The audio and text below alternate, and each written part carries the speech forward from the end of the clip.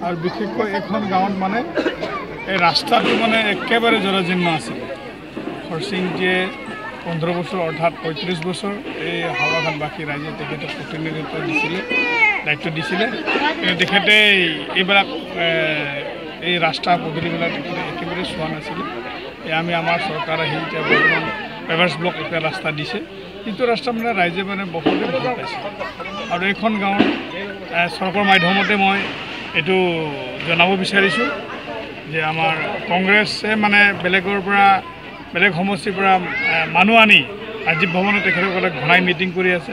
এইটোৱে তেখেতে জনাব বিচাৰিছে যে ইয়াত বহুত কংগ্ৰেছ আছে বুলি। কিন্তু আজিৰ পৰা আমি গাঁৱে গাঁৱে আমাৰ পি এছ এক্সিকিউটিভ মিটিং হ'ব গৈ আছে। তাতে প্ৰত্যেকটো গাঁৱত যিমান কংগ্ৰেছ আছে সবে চবে আমাৰ লগত আহিব। Andy 24.